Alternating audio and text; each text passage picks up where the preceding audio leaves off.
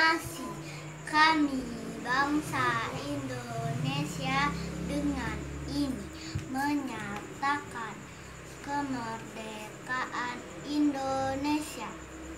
Hal-hal yang mengenai pemindahan kebebasan dan lain-lain diselenggarakan dengan cara seksama dan dalam tempo yang sesingkat-singkatnya.